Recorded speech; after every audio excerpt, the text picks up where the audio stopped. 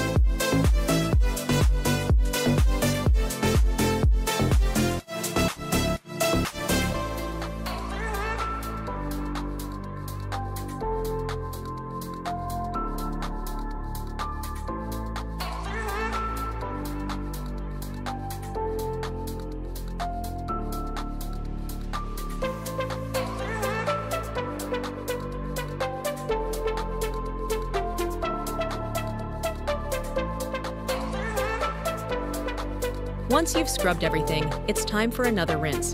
Make sure to wash off all the soap, especially from the drivetrain.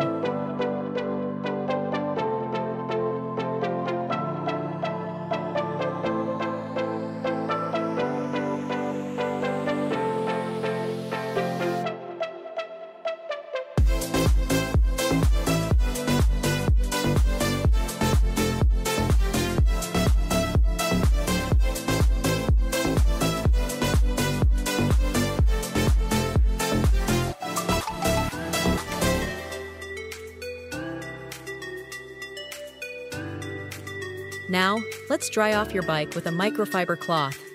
Pay special attention to the brakes and any areas where water might collect.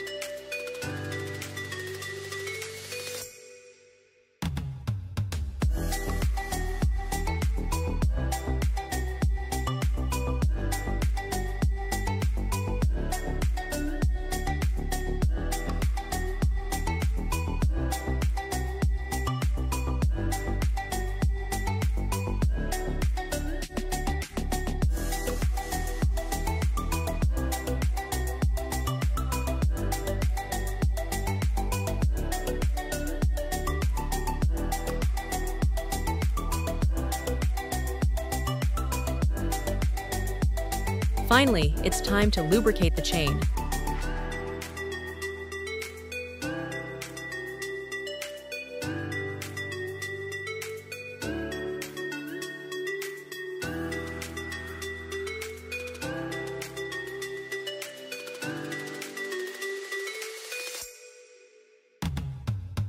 And there you have it, a clean bike ready for your next ride.